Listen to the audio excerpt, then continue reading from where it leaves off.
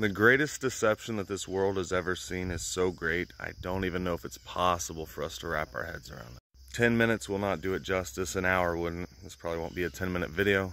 I'll say what I can to explain to people what we're going through, what happened, and how twisted it really is.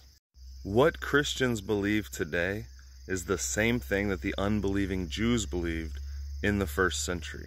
That's actually where they come from. This Christianity comes from those that were left behind. Everything in the Bible already happened. Jesus did a short work on the earth. He fulfilled everything. He delivered everything back to the Father. Today's Jesus is fake. Evil spirit. The Holy Spirit, fake, evil spirit. The opposite of what the real Jesus was. Therefore, if Jesus was good and this is the opposite, then it's evil. See, the real Christians knew that they were going into an everlasting kingdom in heaven. They knew that great was their reward in heaven, and that in the ages to come they would have eternal life. And guess what? They're not here.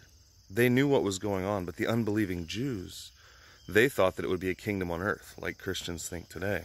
And look what happened to them. They fought over the temple. They thought the people in the temple were the Messiah, and that he was going to have a kingdom here, and they rejected Jesus Christ and were destroyed by Christ. Now, after everything in the Bible came to pass, everything was fulfilled, the people that were left behind said, Oh my God, Jesus was the Messiah, but it was too late. The door was already shut. He delivered everything back to the Father. He received a new name that nobody knows. That's what the Bible says.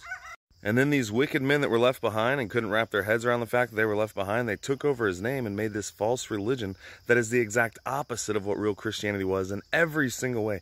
Every belief they have is the opposite. They have this Holy Spirit where they say, I was baptized by fire. What are you talking about? That verse literally means that Jesus would baptize some with the Holy Spirit and some with hell. Your Holy Spirit is welling up in you and saying, I was baptized by fire. I was baptized by hell. They say precept must be upon precept and precept upon precept and line upon line. That was saying that the people that did not receive the Holy Spirit and stammering lips and another tongue would he speak unto this people because the word of the Lord was unto them law upon law, line upon line, rule upon rule, that they might fall backward, be broken, snared, and taken. Again, the opposite. Precept upon precept was not a good thing. It was for the people that rejected the Holy Spirit. They're saying a new temple will be built. This is what their Holy Spirit is telling them. Jesus said not one stone in that temple would stand upon another, and he destroyed that temple. He said that generation wouldn't pass, and they're looking for a new generation. They're calling an Israel that doesn't believe in God, they're calling them the children of God. They don't believe in Jesus Christ. They reject him. They're sitting here talking about parables all the time. Oh, I love parables. Parables are just so great. Parables were to the people who were without because they could not understand. Not a good thing. They say the Antichrist is making a covenant with people. The Antichrist, he's confirming the covenant, and it's going to be seven years. What are you talking about? That was talking about Jesus Christ confirming the covenant.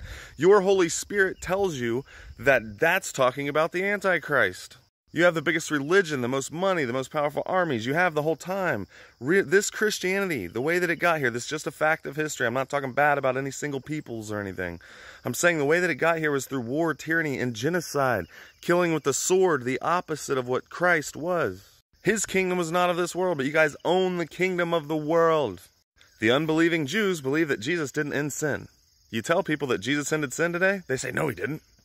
Those letters in the New Testament, they were simple letters written to living people. The New Testament says the New Testament's not written in ink, but you've got a New Testament written in ink. How does that happen? After they were left behind, guess what they did? Since they didn't have the Holy Spirit, the laws of God inside of them, the New Testament, and they wanted to keep the Old Testament in the law, they gathered up the writings of the apostles and made them into a law book because it's the only thing they knew how to do because they didn't have the law of God inside of them because the Holy Spirit had already left. 45,000 denominations, millions of people, and I was one of them. Whenever I was a Christian, I saw this fake Jesus in dreams and prophecies and visions. I saw him hundreds of times. That's not the real Jesus. The real Jesus said he was going away and would not talk with them much. And then there's only about five times that he ever appeared to anybody in the New Testament, put together, all the apostles put together. But somehow Christians today, they see this fake Jesus millions of times, millions of them daily. He comes to everybody tells him, I mean, nothing he says ever comes to pass. The rapture doesn't happen. Not decades ago, not now, not now, not now, not now, not now, not now. And nobody cares that they're all false prophets and giving false prophecies in his name. Nobody cares, but they're seeing him all the time. They say Jesus is God. Do you know what son of God claimed to be God? Satan. You know what Jesus did? He gave up his own will, not to do his own will, but his Father's will. Now you guys take Jesus and put him in the place where Satan was, saying that Jesus is God. A red heifer needs to be sacrificed. That's for cleansing under the law. Jesus was that sacrifice. Saying a red heifer needs to be sacrificed is blasphemy. How is your Holy Spirit the opposite of what the real Holy Spirit was? Gentiles never had the scriptures or the prophets. But what are they doing now? Gentiles are reading the law and the prophets, going back to the law and the prophets to reject Jesus Christ, who fulfilled the law and the prophets. Jesus came after the temple was built and said, Not one stone will stand upon another. You guys go back to Solomon's temple being destroyed whenever it prophesied about a new temple being built hundreds of years before Christ, and you say, A new temple has to be built. What? The Revelation 12 sign was the birth of Jesus Christ. It was Jesus being born. Herod trying to kill all the babies to kill Jesus. Satan trying to devour the child as soon as it was born. But the child was caught up to the throne of the God and he would rule the nations with a rod of iron.